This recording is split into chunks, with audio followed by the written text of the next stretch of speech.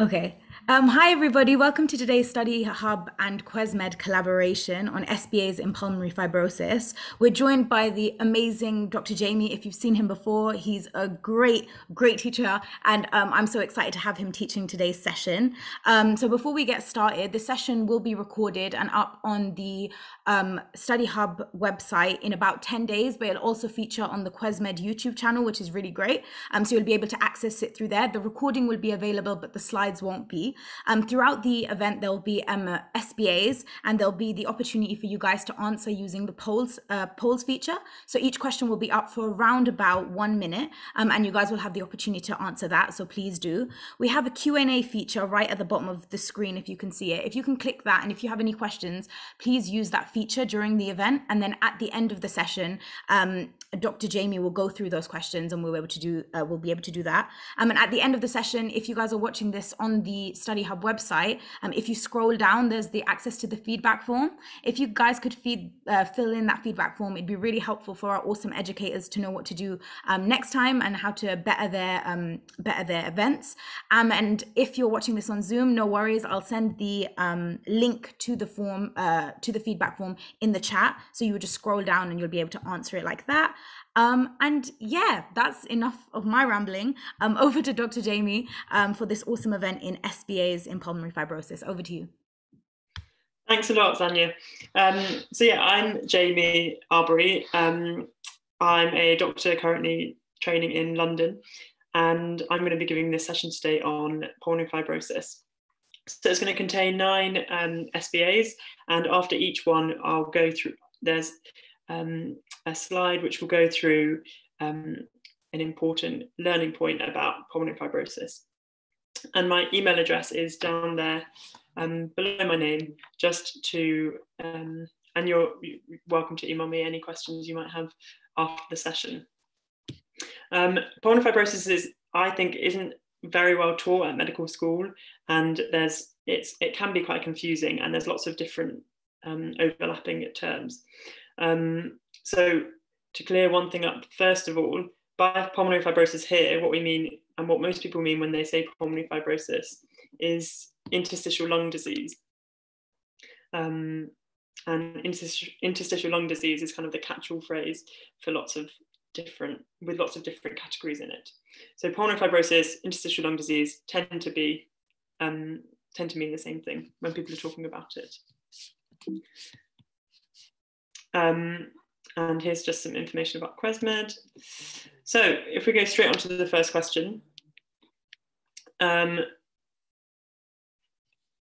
what we'll do is I'll read out the question and then we'll give you about a minute, as Zanya was saying, to answer the question. And then after that, we can, um, I'll go through the um, answers. So a 75 year old man presents to the GP with progressively worsening dyspnea over the last year. There is, this is associated with a non-productive cough and fatigue. He has no weight loss or hemoptysis. He has a 20 pack year smoking history and no other past medical history.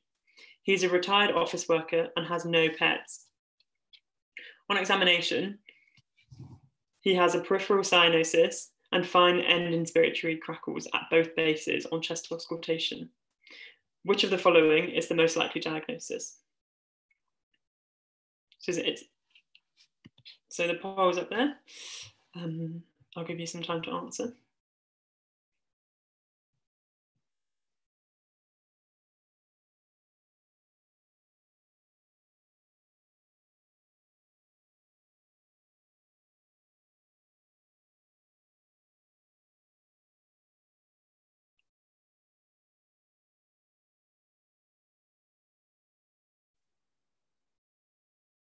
Thirty seconds left, guys.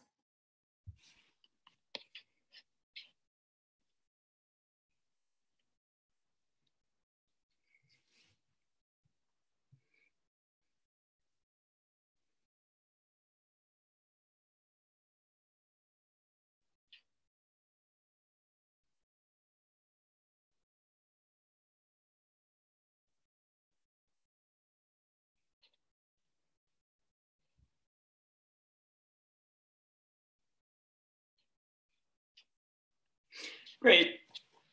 So I thought we'd start with a, um, a fairly straightforward one. So the um, answer is idiopathic pulmonary fibrosis.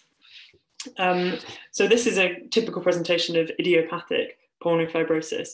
Now, idiopathic pulmonary fibrosis is a type of interstitial lung disease. Um, and this is kind of typically how it presents. Extrinsic allergic alveolitis is another type of interstitial lung disease that we'll cover later. Um, and that usually requires exposure to um, either um, pets or working on a farm, birds, molds, that type of thing. Asbestosis usually requires exposure to, um, well, requires exposure to asbestos, um, and usually it will be in the history that the patient works either in construction or on a shipyard or something like that. Um, COPD doesn't usually present with fine end inspiratory crackles, and lung cancer also usually doesn't present like this. You would expect hemoptysis and weight loss with lung cancer. Um, so, as I said, idiopathic pulmonary fibrosis is a type of interstitial lung disease, and it's the most common type of interstitial lung disease. And it's a progressive fibrotic lung disease, and it usually has an unknown um, it has an unknown cause, hence the idiopathic um, part of it. Um, patients usually present with, typ typically it will be uh, a man who is around 70 years old or in his 70s, and it's much more common in smokers. Um, and typically patients will present with quite a kind of long progressive history of a cough that isn't productive. They bring up no sputum. They'll get progressively more and more short of breath, and they'll usually have constitutional symptoms like fatigue, joint pains, lethargy, things like that. And they can sometimes get weight loss as well as the disease becomes more severe. On examination, when these patients come to um, hospital, when you see them in hospital, they often have clubbing of their fingers um, they're often cyanosed um, due to their hypoxia. And on examination of their chest, they have kind of very typical findings of these, what we call fine end inspiratory crackles. So it's crackles that you hear only at the end of inspiration, and they're very, very fine, unlike the coarse crackles that you hear in uh, pneumonia, for example. And I've got a clip which kind of just demonstrates what I'm describing now.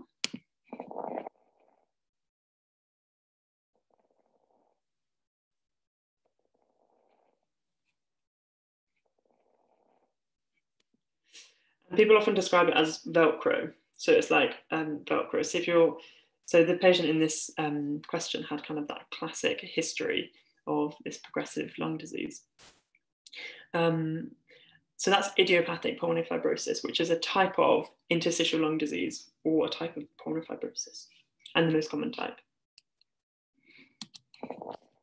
That's just the thing again.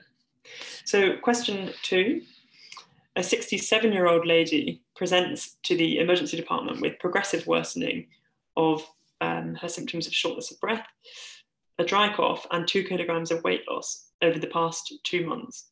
She has a background of ischemic heart disease, atrial fibrillation, hypertension, and type 2 diabetes. And she is taking bisoprolol, 5 milligrams once a day, amiodarone, 200 milligrams once a day, amlodipine, 5 milligrams once a day, atorvastatin, 80 once a day, aspirin 75 once a day, and ramipril 5 milligrams once a day. She's been taking these medications for the last three years. Currently, she is cyanosed with fine end inspiratory crepitations on examination of her chest. Her chest x-ray shows bilateral lower lobe reticular nodular shadowing, and her ECG shows normal sinus rhythm. Which medication is most likely to have caused her presentation?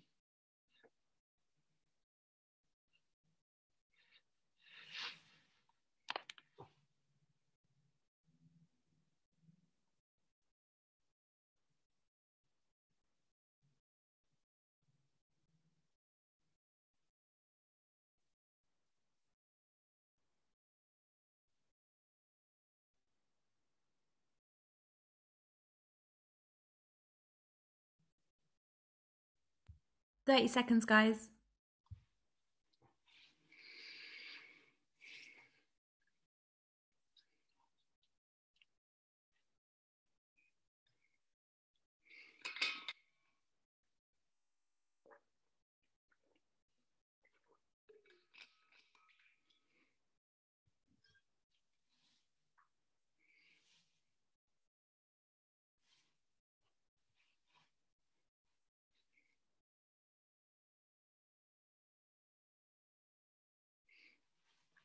Excellent. So that's um, so most people got that one right as well. So the answer there is amiodarone. Um, amiodarone is a drug um, that can typically cause uh, pulmonary fibrosis. It can also cause um, thyroid problems. So you need to monitor thyroid function with amiodarone as well. Um, usually with the drugs that cause pulmonary fibrosis, it takes months to years of exposure to that drug before any pulmonary fibrosis is caused. And pulmonary fibrosis can be caused in about 5% of patients on long-term amiodarone therapy. Um, the other drugs mentioned there aren't known to cause pulmonary fibrosis. Um, so this question, uh, I wanted to highlight some of the other causes of interstitial lung disease. Um, so here we've basically, I've got a picture of a patient who has amiodarone um, induced pulmonary fibrosis, and you can see the horrible um, bilateral shadowing, more predominant in the lower lobes, but also spreading up to the upper lobes as well. Um, and that's kind of your, a typical chest x-ray finding of quite severe um, interstitial lung disease or pulmonary fibrosis. So as we've said, the, the, the most common cause of interstitial lung disease is idiopathic pulmonary fibrosis. And there are kind of four main other categories. So one of them is medications, as in this question, and some of the more some of the medications that it's important to remember that can cause fibrosis include amiodarone, nitrofurantoin, methotrexate, sulfasalazine, and then drugs like bleomycin and busulfan. Um, another category is connective tissue diseases. So pulmonary fibrosis can occur alongside or kind of in a severe um, connective tissue disease, such as rheumatoid arthritis, um, lupus, ankylosing spondylitis. Also, pulmonary fibrosis can be caused by occupational irritants. Um, so that's things like um, coal worker pneumoconiosis, asbestosis, silicosis, and usually for that you get a um, it's important to take a thorough history from the patient about where they worked and what their occupation was. And the final category is extrinsic allergic alveolitis, which is also known as chronic hypersensitivity pneumonitis. So those are both two different names for basically the same, exactly the same thing.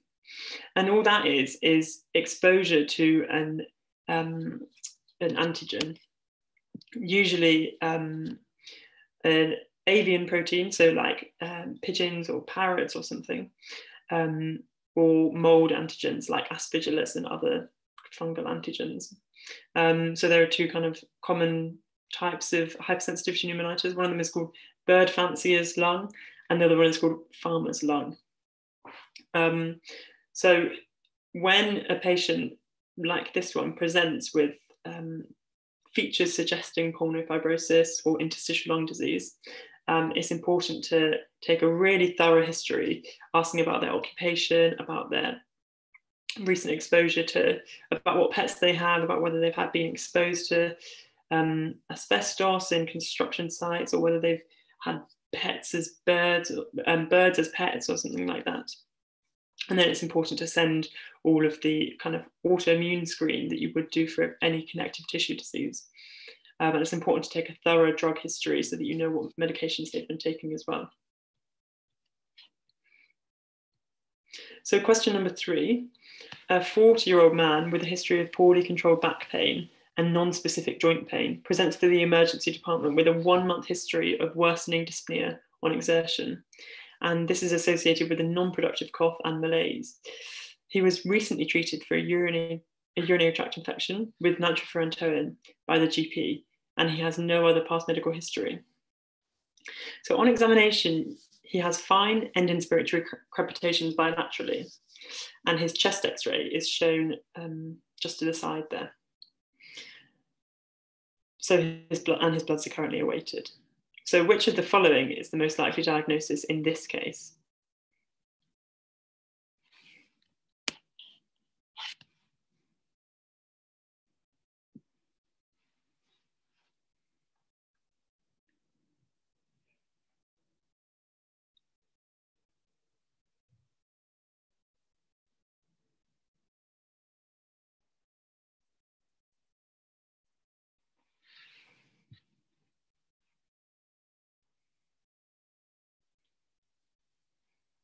30 seconds, guys.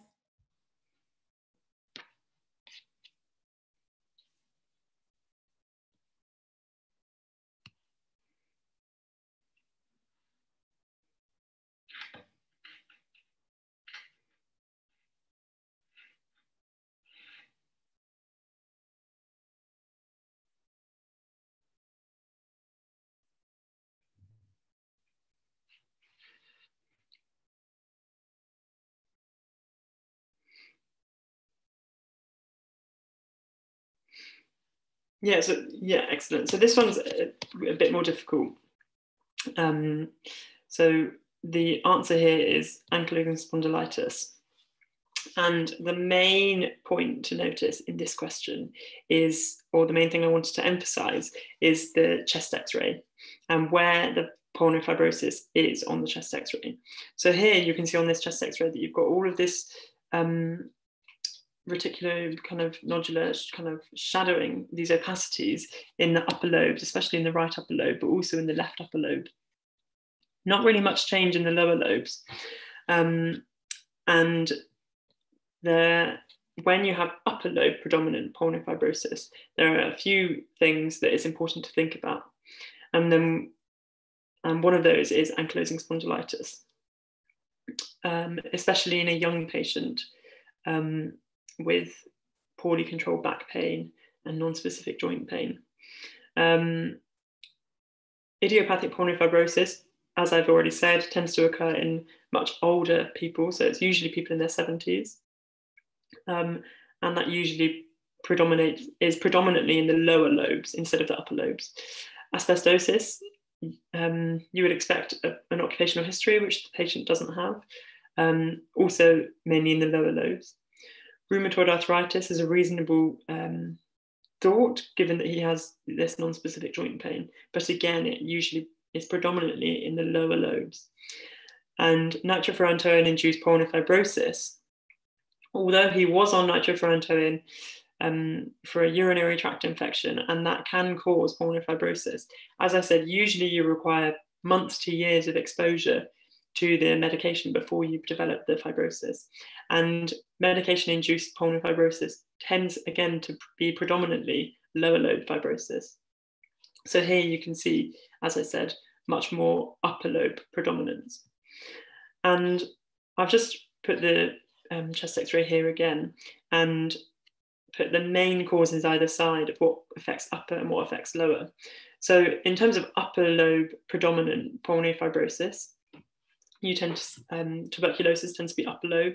You often see cavitating lesions with tuberculosis though. Um, extrinsic allergic alveolitis, so that's the hypersensitivity pneumonitis. So the thing we were talking about with bird fancier lung or farmer's lung. Ankylosing spondylitis, as per this question, typically upper lobe predominant pulmonary fibrosis. And then other rarer causes like radiotherapy and sarcoidosis um, lower zone predominant pulmonary fibrosis. Idiopathic pulmonary fibrosis classically starts in the lower zones um, and very much predominant in the lower zones. And then other things like asbestosis, um, other connective tissue disorders like rheumatoid and SLE. And most causes of drug induced pulmonary fibrosis tend to be lower lobe and predominant. Um, and those are important kind of um, considerations to think about when thinking about the cause of someone's interstitial lung disease. So question four, a 39 year old man presents to the emergency department with a six month history of worsening shortness of breath on exertion associated with a non-productive cough. He has no past medical history. He smokes 20 cigarettes a day and works on a farm. On examination, his respiratory rate is 33 oxygen saturations 91% on room air, heart rate 99, temperature 36.5, blood pressure 110 over 79. Auscultation of his chest reveals scattered inspiratory crepitations, but no wheeze. And chest x-ray shows bilateral upper lobe reticulonodular shadowing. Spirometry was requested and reveals a restrictive pattern. And acid fast bacilli in three sputum samples were negative. Which of the following is the next best investigation?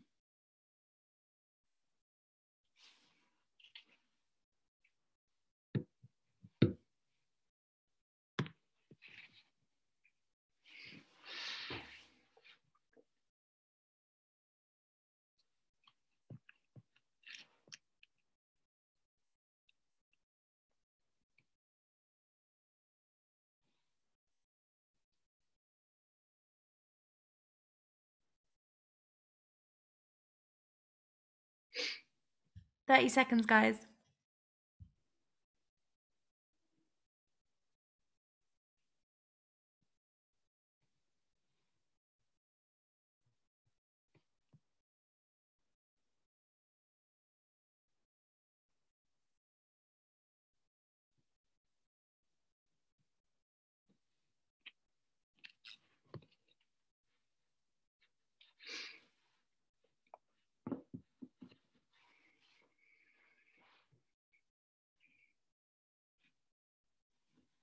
Excellent. So the answer for this question is, as most people said, serum precipitins for aspergillus and mold antigens. So this question was a bit of an opportunity to talk a bit more about uh, chronic hypersensitivity pneumonitis or extrinsic allergic alveolitis, which this is a typical presentation of. Um, so you can see he's got the occupational history, he works in a farm. It's a young patient who's presented with these symptoms suggestive of symptoms and signs suggestive of pulmonary fibrosis. And we've already said he has upper lobe shadowing. And as I said before, it's extrinsic allergic alveolitis can cause upper lobe um, reticular nodular shadowing or pulmonary fibrosis. Um, the rheumatoid factor can sometimes be positive in extrinsic allergic alveolitis, but it's not very um, specific and it's often sensitive in things like uh, rheumatoid arthritis as well. Um, antinuclear antibody is a good test to look for um, lupus. Um, very sensitive for lupus, but here it's not the history doesn't fit with lupus. He has no other symptoms. Serum ACE is a good screening test for sarcoidosis, um, but pulmonary fibrosis in sarcoidosis is usually at the end stage of sarcoid end stage of disease in sarcoidosis, um, and this patient has no other symptoms of sarcoidosis.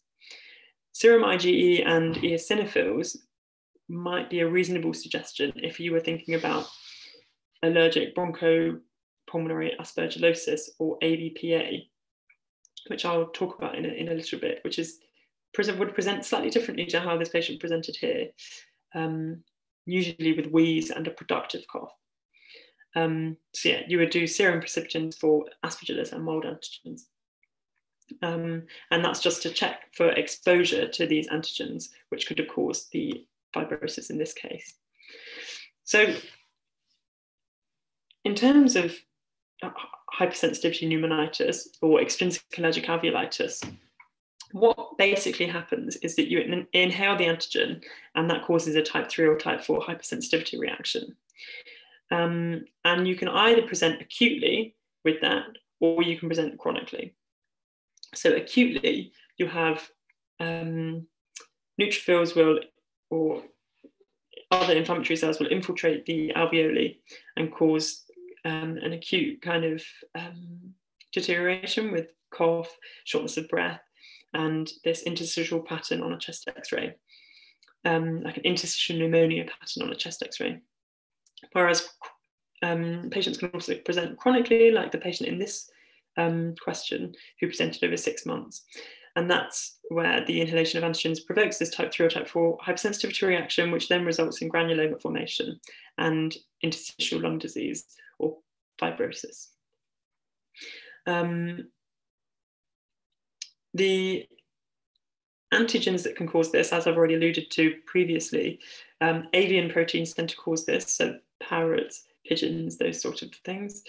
Um, fungal spores, so things like aspergillus can cause this, and also molds, so various different mold antigens, um, which is why it's so, which is why it's colloquially kind of known as farmer's lung, and why farmers are so prone to it because they're so kind of exposed to molds all the time. And we send serum precipitins to confirm exposure. And serum precipitins basically just means IgG. Um,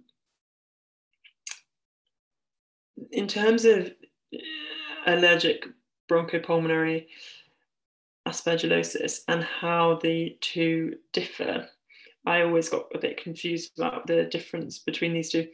Basically, ABPA is a predominantly a type 1 hypersensitivity reaction to the aspergillus antigen, um, and that results in eosinophils infiltrating the airways as opposed to other inflammatory cells. And therefore, you get a productive cough with wheeze and shortness of breath. But, and wheeze is quite a kind of significant um, factor in this. And that's why this patient who presented in this question is unlikely to have ABPA. And although you're exposed to the same antigen, different people just have different responses to that aspergillus antigen. So some people might have a type 1 sensitivity, hypersensitivity reaction, some people might have a type 3 or type 4 hypersensitivity reaction. And those are the differences between ABPA and it's extrinsic allergic alveolitis or hypersensitivity pneumonitis. Um, so question five, a 73 year old woman presents to the GP with a three month history of intermittent non-productive cough. And this is associated with dyspnea on exertion, general fatigue, and some weight loss. She has a history of hypertension, hypercholesterolemia, and type 2 diabetes. She also has a 40 pack year smoking history. She's a retired accountant and has no pets. On examination, she has a respiratory rate of 26 and oxygen saturations of 94% at rest and 91% on exertion. Chest auscultation reveals scattered fine inspiratory crepitations at both lung bases. Which of the following investigations is most likely to confirm the diagnosis?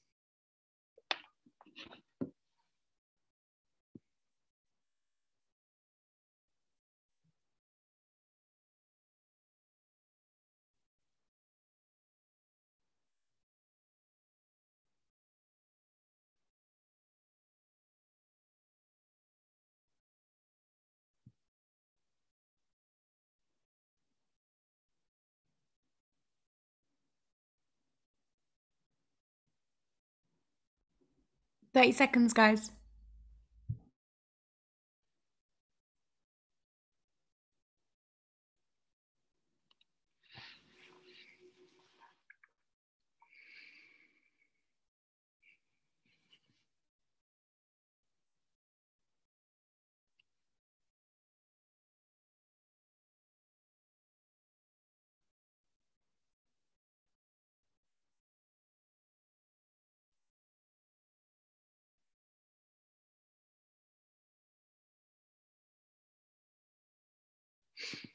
Good. So the answer for that one is high resolution uh, CT. Um, so once again, this is a classic presentation of a um, patient with idiopathic pulmonary fibrosis. She presents with all the typical signs and symptoms, and she has no uh, exposure history to pets, farms, asbestos, construction, etc. Um, and she has the classical findings on examination. So we can assume this lady has idiopathic pulmonary fibrosis. Um, how do we so how do we confirm the diagnosis? So um, chest X-ray is a reasonable investigation to do initially, and probably she would get a chest X-ray before she got a CT. However, chest X-rays can be normal in up to 10% of these patients. So chest X-ray is less likely to be able to confirm the diagnosis here which is why it's not the right answer. Um, bronchoscopy and bronchoalveolar lavage um, tend to be used in patients who have interstitial lung disease of an unknown cause, um, but they've already been kind of diagnosed with interstitial, lung disease, and to and it helps define what the cause might be of the interstitial lung disease. Um, so in this case, it's not necessarily needed um, before you don't need to do it before you do the, the CT. Chest ultrasound is unlikely to be helpful. It's only really helpful for pleural effusions or pneumothorax, um, or when you're inserting a chest drain. And although pulmonary function tests will be helpful in this case and might show a restrictive picture or a restrictive pattern, they're not going to help us to confirm what the diagnosis is because lots of things can cause a restrictive pattern on lung function tests. So that's why a high resolution CT is the, is the right answer because it will show up quite clearly the um, fibrosis and what's happening, what's going on in the lungs. Um, so in terms of anyone presenting with this um, history of um, progressive shortness of breath over the last six months, and they've got these typical fine spirit, end inspiratory crackles on examination, although chest X-ray is a good initial investigation to do, and may show some um, opacification bilaterally. It, chest x-ray can be normal up to 10% of patients, as I said. And that's why a high resolution CT is kind of going to give us more likely to give us the diagnosis. And you can see on this CT here that we've got this kind of typical um, reticular nodular shadowing around um, the whole lungs. And then you can see lots and lots of what we call honeycomb lung, where the lung, if you look on the periphery especially, it looks like it's turning into honeycomb. And this is all typical for idiopathic pulmonary fibrosis. Um, it's and in any patient presenting with this sort of symptom, symptomatology, it's important to get a CT. It's also important to get a spirometry in patients presenting with this shortness of breath over um, a long period of time, because that can really guide your diagnosis as well. Um, but as I said, it's, it's, a spirometer is unlikely to confirm the diagnosis as much as a CT is, but definitely helpful in guiding the diagnosis. Um, and it's also important to send off lots of blood tests um, to look for the cause of the interstitial lung disease. As we've said in this case, it's most likely to be uh, idiopathic pulmonary fibrosis, but it's important to rule out those other causes that we've already discussed. So sending things like rheumatoid factor, um, ANA, other autoimmune anti um, antibodies, um, and taking a clear um, and thorough history for things like, as I've already said, exposure to pets, exposure to um, various occupational hazards. Um, so question six, this one might take a bit longer to look through. A 67 year old woman is reviewed in the respiratory clinic. She was referred due to a six month history of dyspnea, initially on exertion, but now at rest. And this is associated with a non productive cough. A high resolution CT shows evidence of honeycombing. She has just had spirometry and you're reviewing the results. Which of the following spirometry results are most in keeping with this clinical picture? So I'll give you a little bit of extra time to look through each of these and think about these ones.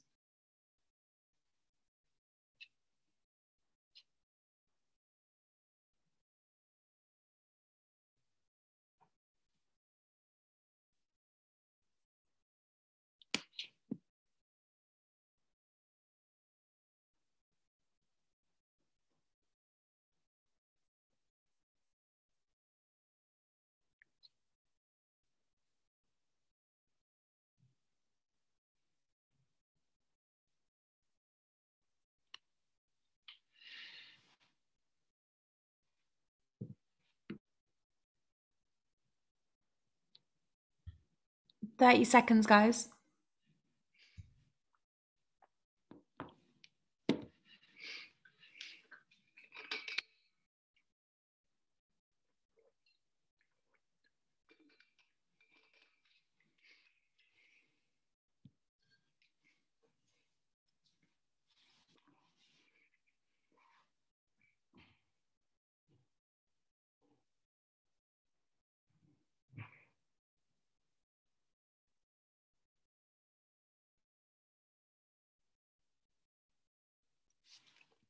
Excellent.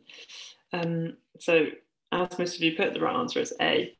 Um, so this shows as the FEV1 and the FVC are both lower than they should be, and the FEV1 to FVC ratio is 85%, which is normal. This is a typical restrictive pattern, and the transfer coefficient is also low, um, which demonstrates basically interstitial lung disease.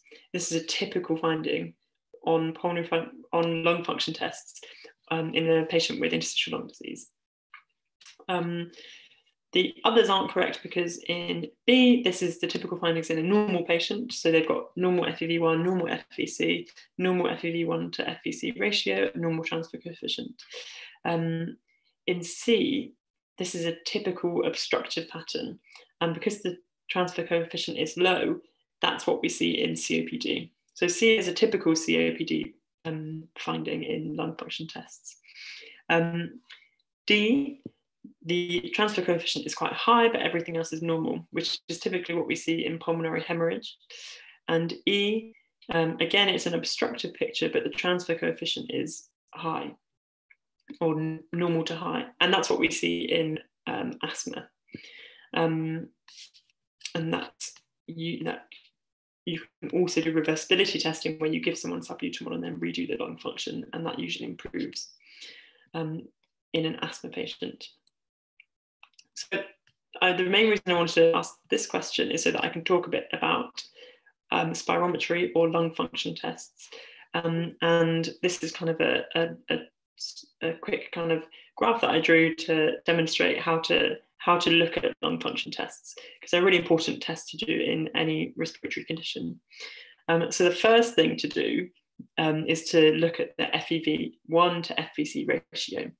Um, and if that's above 70%, um, that's that usually means kind of a normal FEV1 to FVC ratio, below 70% an abnormal FEV1 to FVC ratio.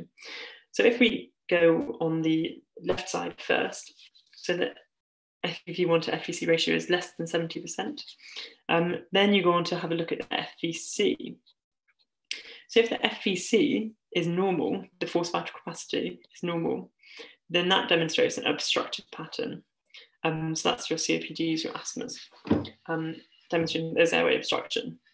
And then you have a look at the transfer coefficient or the transfer factor, which is basically just a, um, a measure of how much air is being adequately exchanged in the lung, um, how much oxygen is being adequately exchanged in the lung and getting into the bloodstream.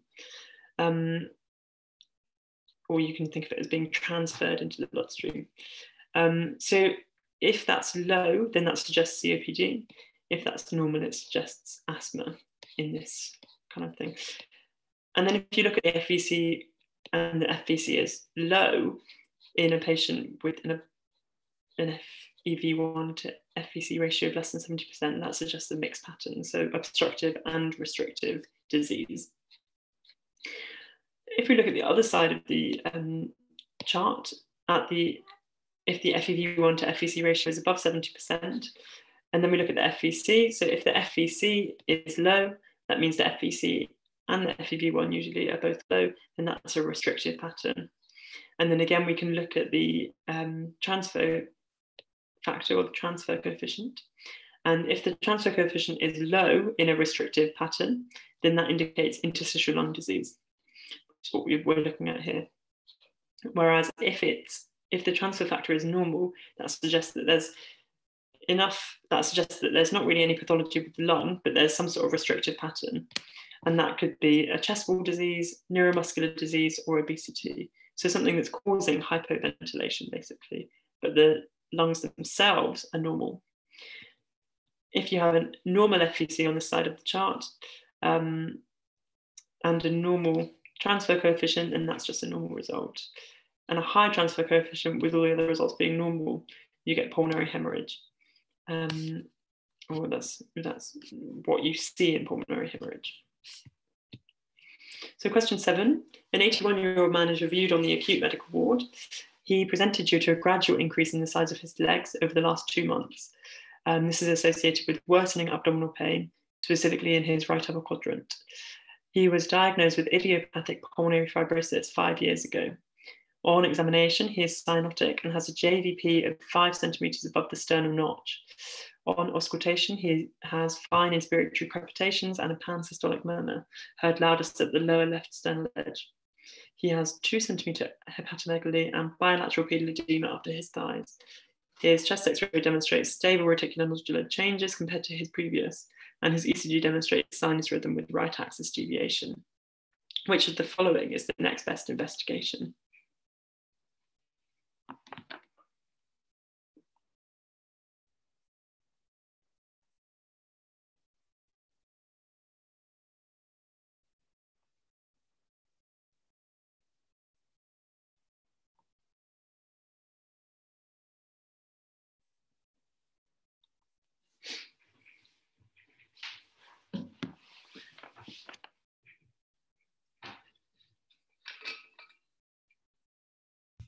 Thirty seconds, guys.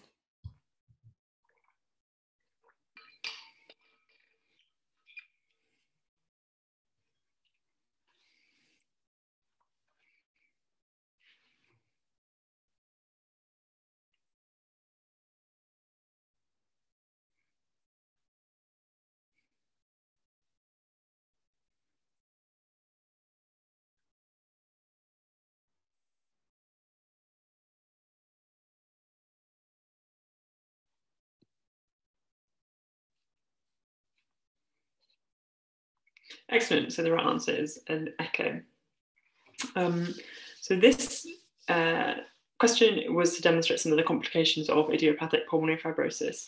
Um, in lots of patients with lung disease, you see cor pulmonale, which is basically right-sided heart failure due to lung disease.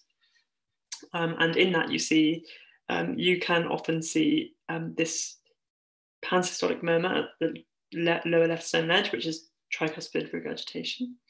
Um, and he's got two centimeter hepatomegaly, which is due to congestion, again, right heart, right heart failure, the edema up to the thighs, all, all points to right-sided heart failure. And the right axis deviation points to right ventricular hypertrophy. Um, and the reason echo is the next best investigation is to is to see what the pulmonary pressures are to see if he's got evidence of pulmonary hypertension and to see how well the right ventricle is working because this all suggests right ventricular failure due to his um, pulmonary fibrosis. Um, there's not much point in doing a high res CT here because we know that the cause is, we know that he's got clinical evidence of heart failure. So we want to confirm that with an echo. Um, and he's got stable change, he's got stable changes on his X-ray. So he probably doesn't need a, a, another CT because we already know that the diagnosis is idiopathic pulmonary fibrosis. Um, cardiac MRI is a good investigation to do if you are looking for a cause of, if you have heart failure of unknown cause um, on an echo and you want to kind of elucidate the cause, then you can do a cardiac MRI. But here, that's not, we don't need to do that at the moment. Coronary angio, angio again is a reasonable investigation to request if you're thinking about ischemic cardiomyopathy, but again, in this case, we're, we're not thinking about that. And spirometry will probably show a restrictive pattern and is useful in the sense that we can compare it to his previous lung function tests to see if he's got progressive disease, but again, not going to be that useful in terms of um, his right-sided heart failure. Um, in terms of complications of idiopathic, so in terms of complications of idiopathic pulmonary fibrosis or most causes of interstitial lung disease, you can get type 1 or type 2 respiratory failure. So as it progresses, you start off usually with type 1 respiratory failure. As it progresses even further, you get type 2 respiratory failure. Um, you're at increased risk of having lung cancer. And as I've said with this question, you get cor pulmonale, which is right-sided heart failure due to the um, lung disease. And you also have increased risk of respiratory infections. Lots of these patients will um, have recurrent inf bacterial infections with things like Pseudomonas or Klebsiella um, or staph, um, things like that. Um, and some of them can even be colonized with these bacteria, so colonized with Pseudomonas, for example, um, after being infected so many times. So question eight, an 84 year old woman attends respiratory clinic for her annual follow-up. She has end-stage idiopathic pulmonary fibrosis and reports that her dyspnea is worsening and she now experiences dyspnea at rest. Her respiratory rate is 30, oxygen sats in the clinic are 90% at rest and 85% on exertion. Her chest x-ray in today's clinic shows worsening fibrotic disease. Her spirometry shows an FVC of 40% predicted. She's already registered in a pulmonary rehab program and she stopped smoking when she was first diagnosed with IPF. She's already known to the community palliative care team but has not seen them for a year. Which of the following is the next best step in her management?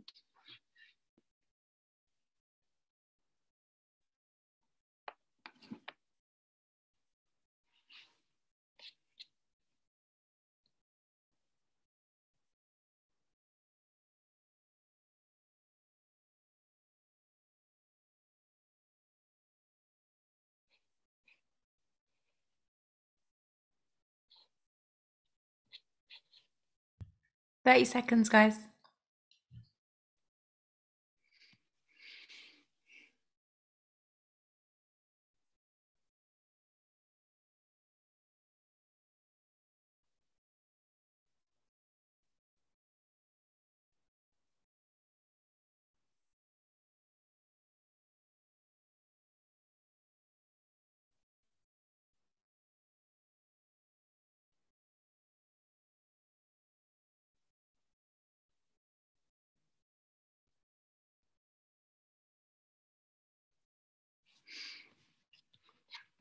Excellent. So yeah, the answer here is um, D, refer for long-term oxygen therapy with additional ambulatory oxygen. Um, so this patient who's come to clinic, they've got worsening pulmonary fibrosis. We know they've got idiopathic pulmonary fibrosis um, and their FVC is 40% of predicted, which is very low. Um, and when so basically she's in the end stage of her disease. And when patients get to the end stage of disease in idiopathic pulmonary fibrosis or any interstitial lung disease it's important to start thinking about how we can best control their symptoms. Um,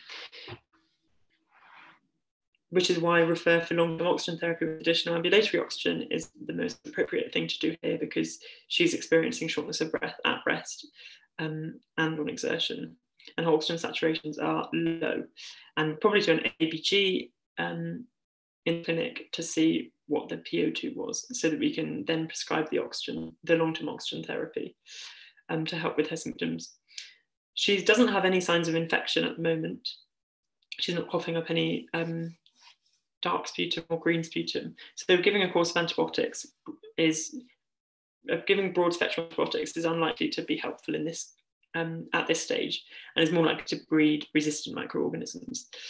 Pirfenidone and nintedanib are both antifibrinogen um, drugs that can be used in um, pulmonary fibrosis. They're antifibrosis drugs, um, but they're only allowed if the FVC is between 50 and 80% predicted.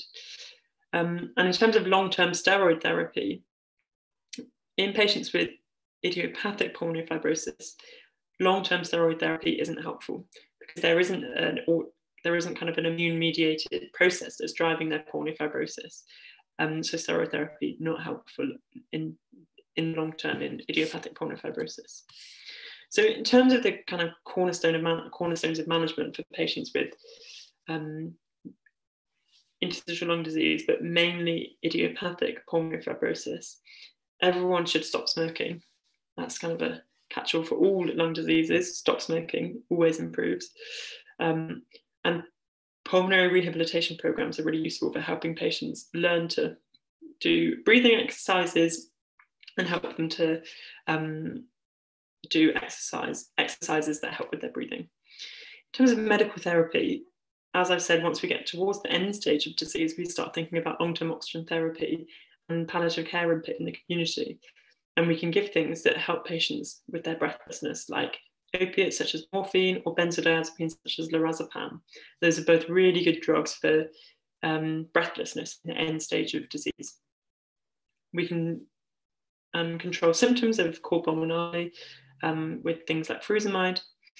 And then there's these anti-fibrosis drugs um, called nintedanib and pirfenidone, which are currently licensed um, in idiopathic pulmonary fibrosis if the FVC is between 50 and 80% of predicted. And they don't stop or reverse fibrosis, they just slow the progression of fibrosis. They're quite expensive drugs to use and they're only used in those specific cases. So they don't reverse, they just slow the progression um, by about half. Um, and the only kind of cure, the only thing that will get rid of the, the fibrosis is a lung transplant. In terms of steroid use, as I said, steroids shouldn't be used long term in idiopathic pulmonary fibrosis. But if there's another cause of interstitial lung disease, such as a caused by a connective tissue disease, one of these hypersensitivity pneumonitis or extrinsic allergic alveolitis, then steroids tend to be really, really helpful because there is an immune kind of component uh, or inflammatory mediated component to their lung disease. Um, and so steroids can dampen that down and help prevent that from causing the lung disease. Um, but not usually used, but not used long term in idiopathic pulmonary fibrosis. Um, so the main message from this point is if you have idiopathic pulmonary fibrosis, really hard to treat, no actual there's no actual kind of thing to cure it apart from lung transplant. And it's important to think about symptom control, especially at the end stage of disease. So question nine, um, and the final question. A 92-year-old man is reviewed on the acute medical unit after presenting with worsening shortness of breath, cough productive of green sputum, and right sided chest pain.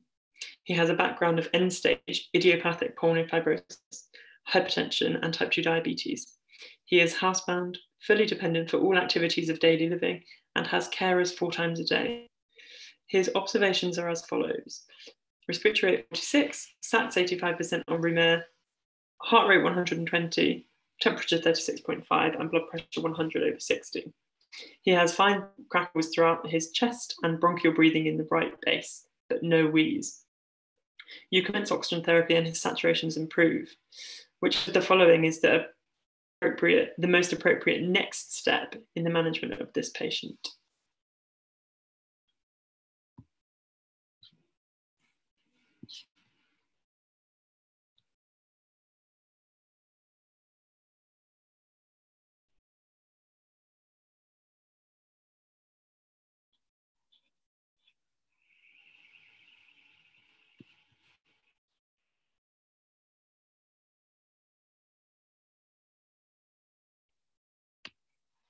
30 seconds left, guys.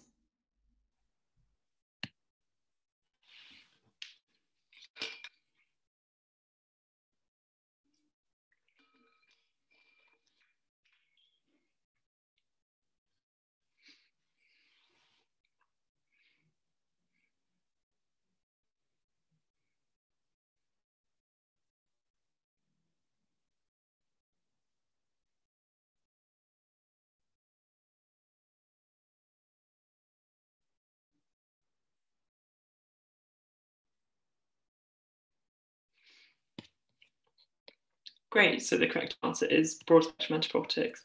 Um, so again, this patient has pulmonary fibrosis, um, end stage idiopathic pulmonary fibrosis.